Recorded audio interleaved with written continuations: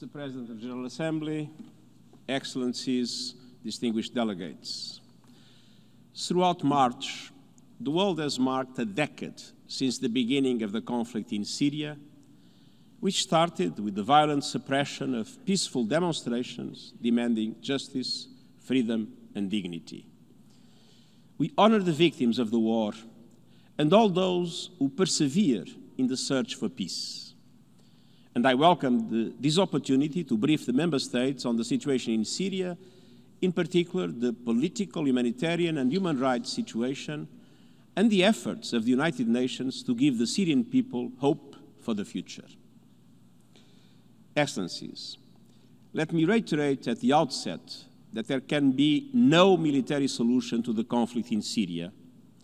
And yet, the situation continues to drift toward one of no war, no peace. We must pursue a negotiated political settlement in line with Security Council Resolution 2254 adopted in 2015.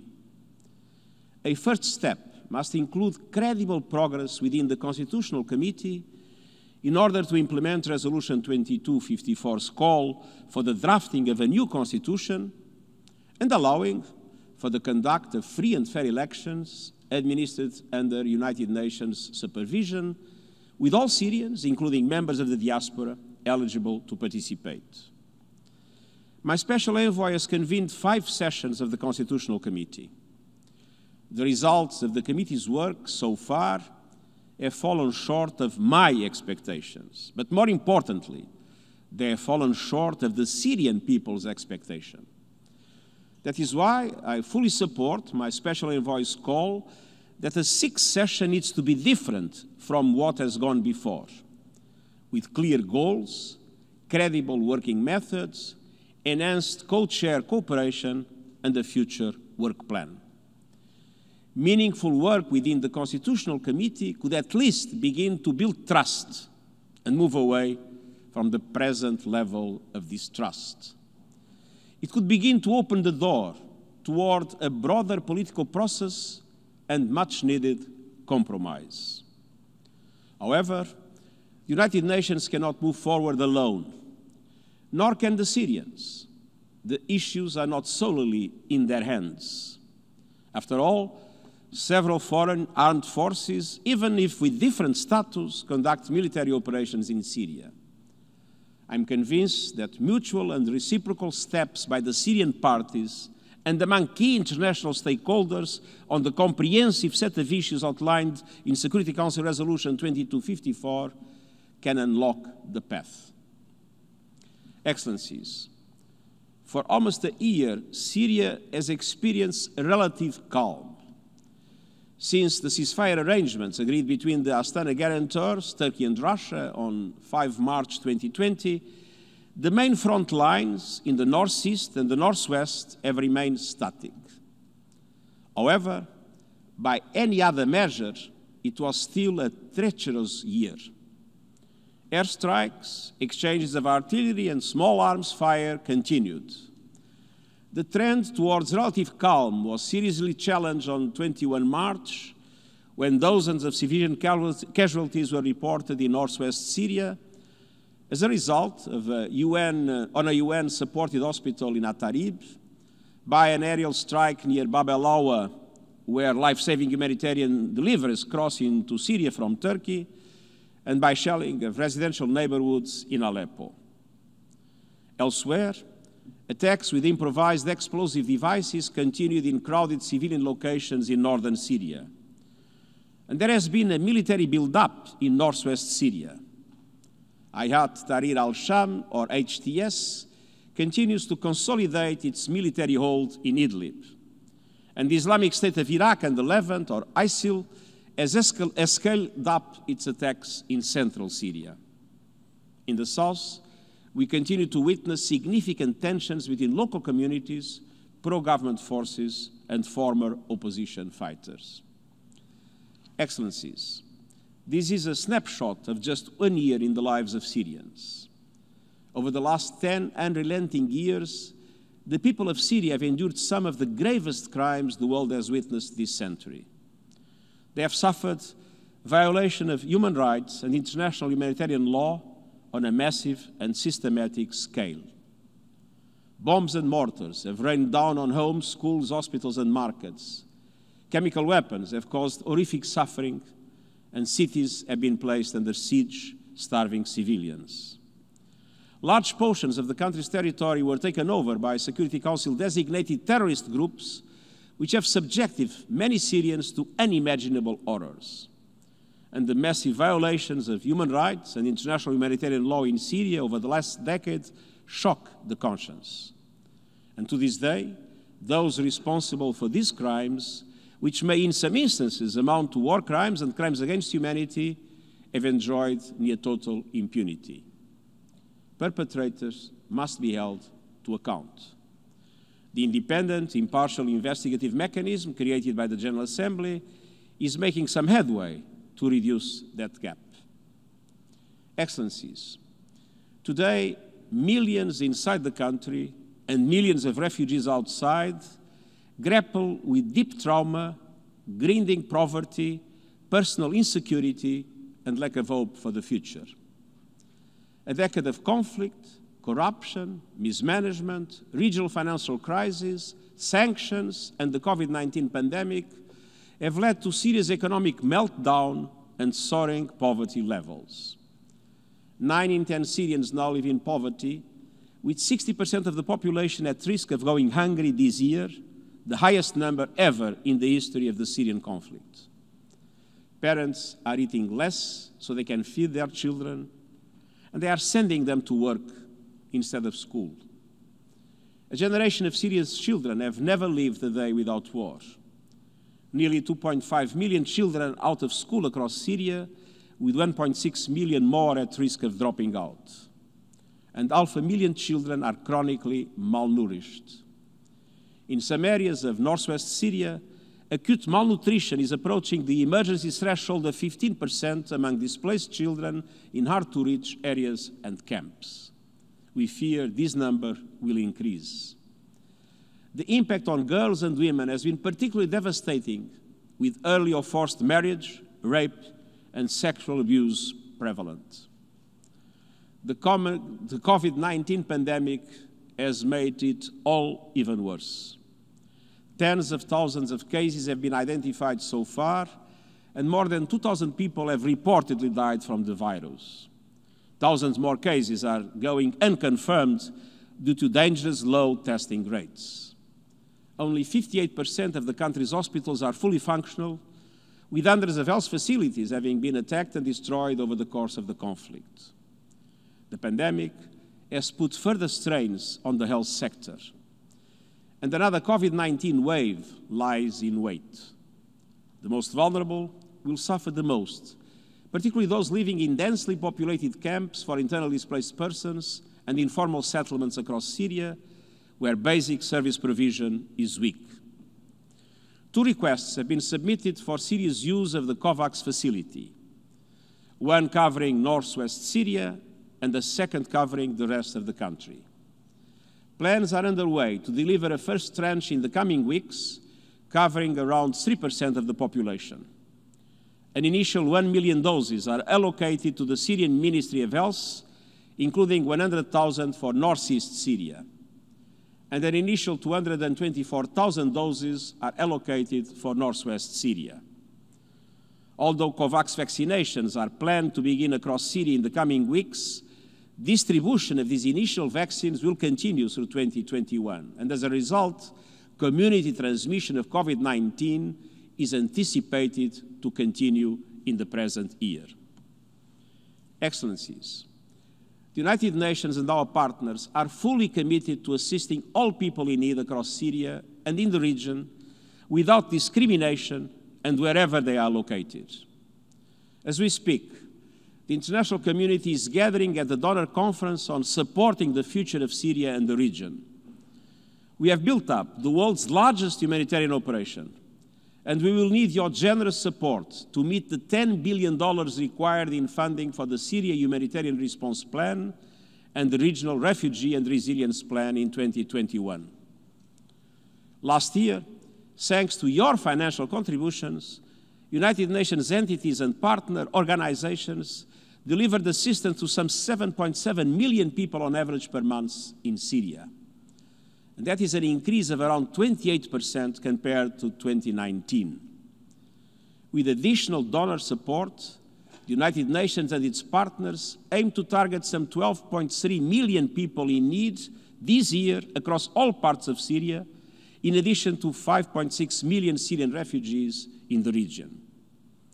Syria is the world's largest refugee crisis. And allow me a personal testimony as uh, High Commissioner for Refugees during 10 years. I lived intensely the plight of the Syrian refugees. I witnessed their dramatic suffering, but I also witnessed and was inspired by their courage and their resilience. And I can also not forget that during several years before the Syrian crisis, I've worked with the Syrian people and the Syrian government to support the protection and assistance to uh, Iraqi refugees, much more than one million Iraqi refugees in Syria. And Syria opened its borders, and the Syrians opened their arms with enormous generosity and solidarity. There were no Iraqi refugee camps in Syria. Iraqi refugees were living with Syrian communities and Syrian families all over the country. And uh, it's also important to recognize that Palestine refugees enjoyed in Syria the highest level of rights in the region. So, indeed, it breaks my heart to see such a generous people suffering so much.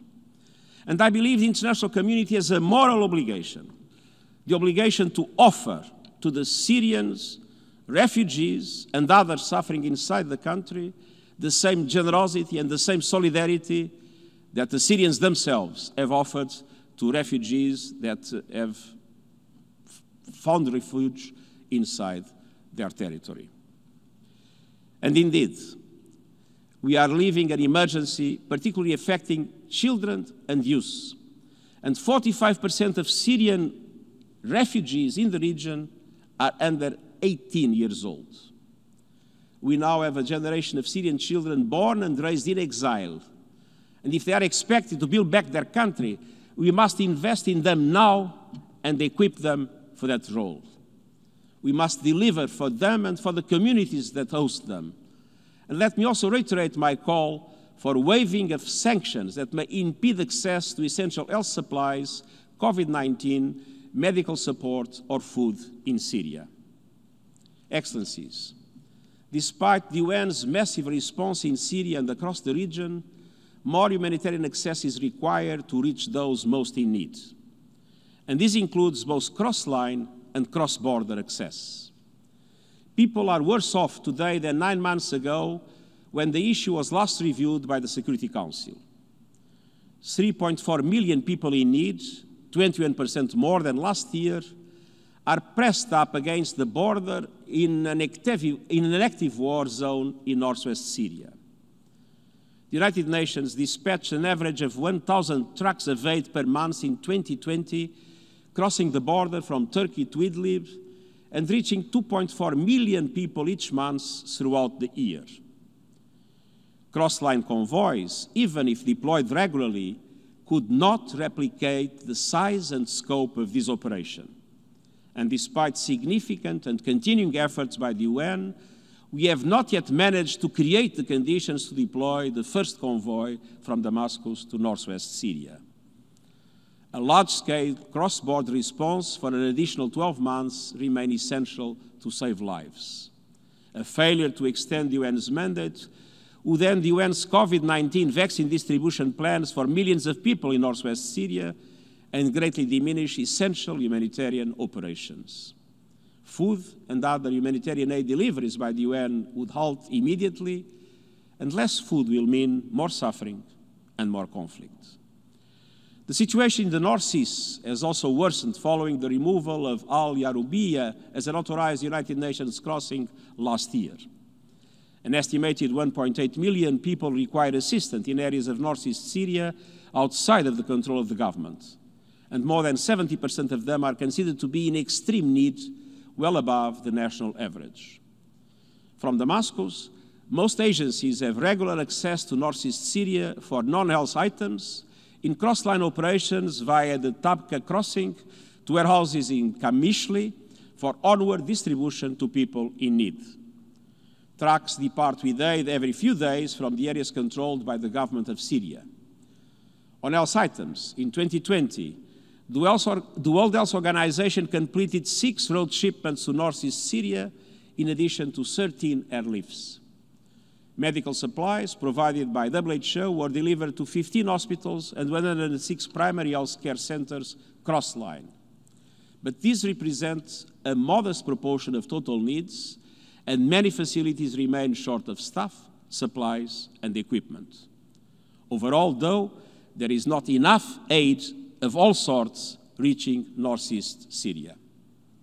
Excellencies, the plight of detainees, abductees, and the missing, and the pain and suffering of their families require our urgent attention. Tens of thousands of Syrians have been arbitrarily deprived of their liberty. Many are held in dire conditions, lacking access to basic necessities, and are often subject to torture and ill treatment. Men and women detainees, including boys as young as 11, have been subjected to a range of sexual violence, including rape and sexual torture, including genital mutilation. The families of those detained, abducted, or disappeared should be informed of their fate and whereabouts and be allowed to visit or communicate with them. And human rights and humanitarian agencies should be granted access to all places where detainees and abductees are held. My special envoy has continued to stress the importance for progress on all of these issues and regularly engages the Syrian parties directly on them. The parties must move beyond one for one prisoner exchanges to releasing those arbitrarily detained and providing information as an important confidence building measure. And the United Nations has also worked diligently with the Astana guarantors to advance this file.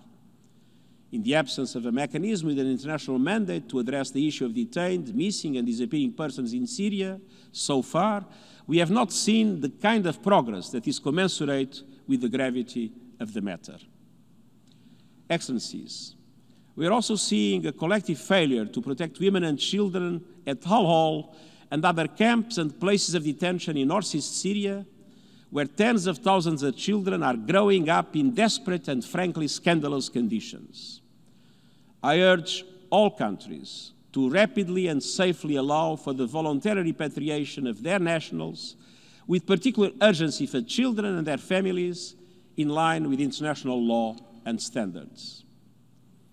Excellencies, after a decade of war, many Syrians have lost confidence that the international community can help them forge an agreed path out of the conflict. I'm convinced that we still can we will be relentless in our pursuit of a negotiated political settlement in line with Security Council Resolution 2254. A solution that creates the conditions necessary for refugees to return voluntarily in safety and dignity and respect Syria's sovereignty, territorial integrity, and independence. A solution that meets the legitimate aspirations of all Syrians. The war in Syria is not only Syria's war. Ending it and the tremendous suffering it continues to cause is a collective responsibility. Today, we must all commit fully to achieving that goal. Thank you.